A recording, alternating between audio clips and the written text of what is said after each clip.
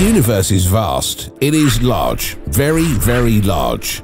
Because of this, NASA has no current plans to transport humanity to any of the thousands of known planets outside of our solar system with a conventional spacecraft. The closest star and planetary system to Earth is Alpha Centauri, which is 4.37 light years away. However, using current technology, it would take a person about 6,000 years to travel there. We need to develop a new method of interstellar space travel in order to traverse the vast distances between Alpha Centauri, other exoplanets, and our own solar system. Could we reasonably expect to go to any of the nearby stars? How does NASA plan on getting to these faraway planets? Let's find out. NASA has some big ambitions for human crewed space missions in the future. And when they say enormous, they often mean vast or galactic spanning at least. See, the unfathomably large size of space is the one major problem with manned space travel. Since the numbers used to represent distances within the cosmos are so enormous, astronomers had to develop a new unit of measurement, the light year. Even the closest stars will take hundreds of years for humanity's fastest spacecraft to approach. Additionally, humankind will require a propulsion technology that is a great deal more powerful than traditional rockets if it truly wishes to travel to the furthest stars. With one, people would be able to travel to star systems that are light years away from Earth. However, an interstellar mission to look for life beyond our solar system has been revealed by NASA in 2069, the 100th year of the first moon landing, the US Space Agency intends to launch a robotic spacecraft to the nearby star system Alpha Centauri. Three stars make up the constellation Alpha Centauri, which is only 24.9 trillion miles away from Earth. Centauri A, Centauri B, and Proxima Centauri. Since an Earth-like planet was found orbiting Proxima Centauri in the past year, it has attracted a lot of scientific and public curiosity. The planet, known as Proxima b, is situated in the habitable zone of Proxima Centauri, where the climate is suitable for liquid surface water to exist. There are almost certainly little Earth-like planets in Alpha Centauri that are capable of supporting ET life. However, it is frequently bombarded by intense ultraviolet and X-ray radiation from the star, so any life that evolved there would need to be radiation resistant. According to astronomers, the Alpha Centauri star system very probably contains more small Earth-like planets that could support extraterrestrial life. However, in order to get to Alpha Centauri, a spaceship must be able to move at a minimum of 10% the speed of light, or roughly 30 million meters per second. Even if this were possible, it would still take 44 years to go there, putting the arrival at Alpha Centauri in the year 2113. According to reports, NASA is looking into various options, such as deploying tiny laser-powered probes that could theoretically travel at a quarter of the speed of light. Star travel is not possible with standard rockets. They move far too slowly. However, researchers from Penn Engineering and the Breakthrough Starshot Initiative announced in February 2022 that they are developing a new means of reaching the nearest star system. Their fresh idea makes use of an improved solar sail. If it is successful, in as short as 20 years, it might arrive at Alpha Centauri. The idea originated from a statement by Russian high-tech billionaire Yuri Milner in April 2016. He started a brand new ambitious project called Breakthrough Starshot with the goal of investing $100 million in proof of concept research for a completely new space travel technology. In order to get to the Alpha Centauri system and most likely its recently found planets Proxima b and Proxima c, it was designed to travel at a speed of 20% of the speed of light. But is it even feasible? That question has been the focus of research. A solar sail spacecraft ought to function for star travel in principle. In actuality though, the sail must endure the arduous trip to Alpha Centauri. The new studies emphasize a solar sail that is more robust and long-lasting, according to Igor Bargatin of Penn Engineering. Within our lifetimes, relativistic speed or close to the speed of light will be needed to travel to another star. Although the concept of a light sail has been around for some time, we are only now learning how to ensure that those designs endure the journey. The upcoming probe is incredibly little, it resembles a microchip in size. The sail is extraordinarily thin, about 10 feet or 3 meters wide, and 1,000 times thinner than a sheet of paper. It is made up of molybdenum disulfide and aluminium oxide sheets that are incredibly thin. These scientists claim that this tiny probe from Earth might reach a speed of up to one-fifth of the speed of light by using lasers. That travel speed will take 20 years to reach Alpha Centauri. Earlier iterations of solar sails were solely powered by sunlight. However, Starshot's new design would use ground-based lasers to assist in accelerating the sail. Millions of times more light would be produced than if only sunlight were used. The sail must, however, be able to endure the risk of tearing or melting in order to do this. The first paper's topic having the sail billow out like a parachute rather than staying flat is one solution. It would be around the same depth as width. The pull of hyperacceleration, which is hundreds of times stronger than the gravity on Earth, could not break such a sail. The underlying assumption is that a highly tight sail, whether in space or on a sailboat, is much more likely to rupture. Although the idea is rather simple, we needed to perform some extremely difficult mathematical calculations to demonstrate how these materials would react at this scale. Similar to how air inflates a beach ball, laser photons will fill the sail. We also know that lightweight pressurized containers should be spherical or cylindrical to prevent rips and splits. Consider fuel tanks on rockets or propane tanks. The second study examines methods for releasing laser heat. The solution, according to the researchers, is nanoscale patterning, nanolithography, the act of imprinting, writing or etching patterns at a tiny level in order to produce exceedingly small structures is known as nanolithography, which is a subfield of nanotechnology. The sails will heat up to very high temperatures if they even have a small portion of the incident laser light. We need to make the most of their ability to reflect heat out, which is the only form of heat transfer possible in space to ensure that they don't simply disintegrate.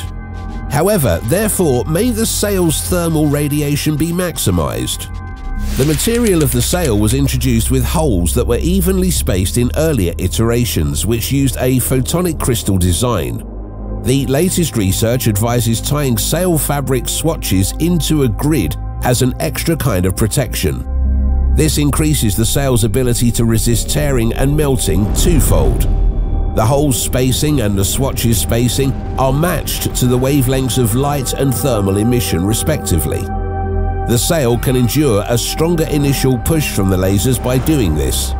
As a result, the lasers don't need to be focused on the solar sail's target for as long. All of this sounds fantastic, but why can't we just use conventional rockets? Take into account the space shuttles, which entered Earth's orbit from just a few hundred kilometers above the surface of the planet. In comparison to the corresponding 6 mile or 10 kilometer distance to Alpha Centauri on the same scale, this distance is roughly the breadth of a hair if Earth were the size of a sand grain. Although we have created starships, the space shuttles weren't starships. Five spacecraft from Earth are now leaving the solar system and traveling through interstellar space. The New Horizons spacecraft, the two Pioneer spacecraft, and the two Voyager spacecraft are included. Compared to the speed required to move among the stars, everyone is moving incredibly slowly. So let's think about the two 1977 launched Voyager spacecraft, Voyager 1 and Voyager 2. Although neither Voyager is pointed at Alpha Centauri, if one were, it would take tens of thousands of years for it to arrive there if it kept moving at its current rate. The Voyagers will eventually pass other stars. Voyager 1 will come within 1.6 light years, that's 9.3 trillion miles, of AC 793888, a star in the Camelopardalis constellation, in roughly 40,000 years. Voyager 2 will pass 4.3 light years away from Sirius, the brightest star in the sky, in about 296,000 years, 4.3 light years. That's how far Alpha Centauri is from Earth. How about the New Horizons probe, the first probe ever to travel to Pluto and its satellites? The speed of New Horizons is 36,373 miles per hour. That's 58,536 kilometers per hour. It was launched from Earth in mid-January 2006 and, by mid-July 2015, it had arrived at Pluto, nine and a half years later.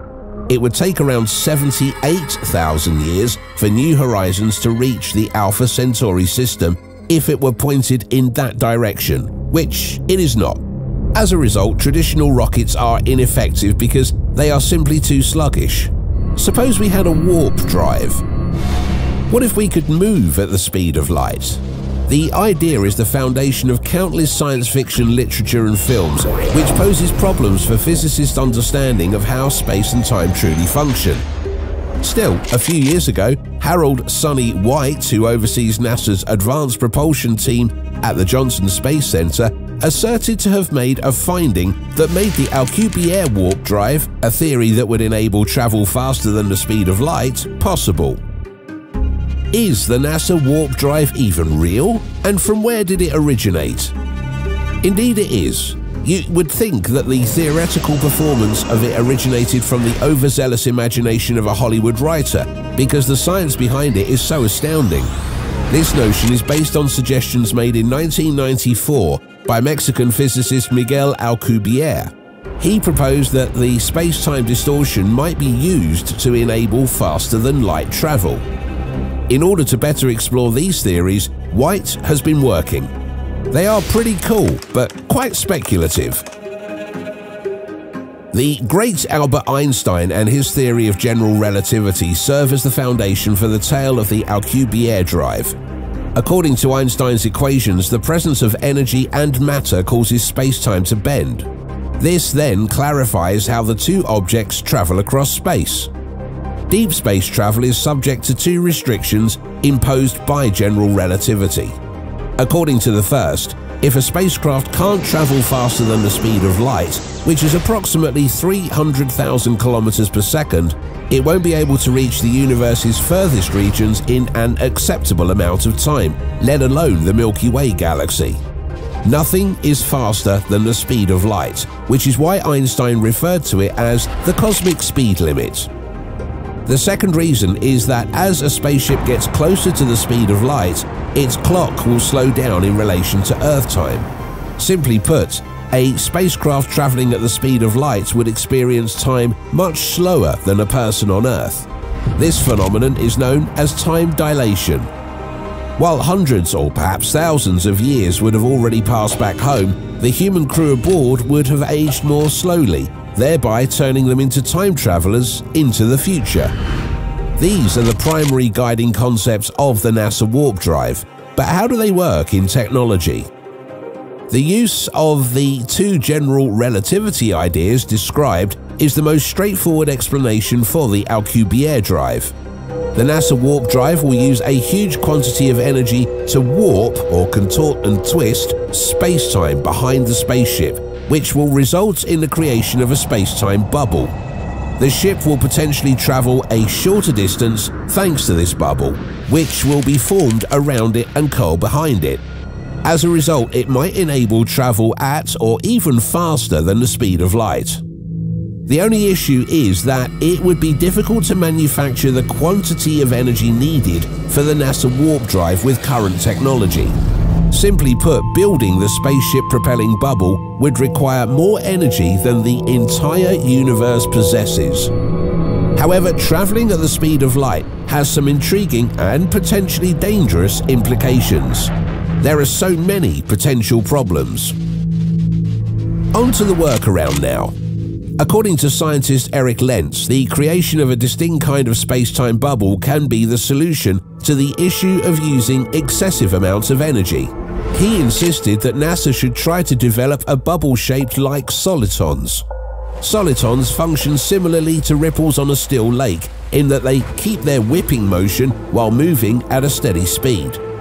Lentz contends that this kind of space-time bubble would simply require standard methods of energy production. It's clear that NASA is still ironing out the wrinkles in their warp engine, but it might only be a matter of time until human crews can travel to or at least nearby star systems like Proxima Centauri. According to the research, other methods being considered involved using nuclear processes or collisions between matter and antimatter. How about the plans for the solar sail's future? The scientists will keep putting their novel solar sail concept through testing. According to Deep Jariwala from Penn Engineering, a few years ago it was thought far-fetched even to discuss or do theoretical research on this type of concept. Now, in addition to having a design, we also have one that is based on actual materials that are accessible in our labs. Our future goals are to make such structures on a modest scale and test them with powerful lasers. The bottom line is that star travel is extremely far because of the enormous distances between stars. But in the near future, a revolutionary solar sail might be able to reach Alpha Centauri. We can only use our telescopes to gaze at the furthest stars till then. Thanks for watching another episode of Voyager. While you're still here, make sure to click the video on your screen for more mind-blowing videos about space.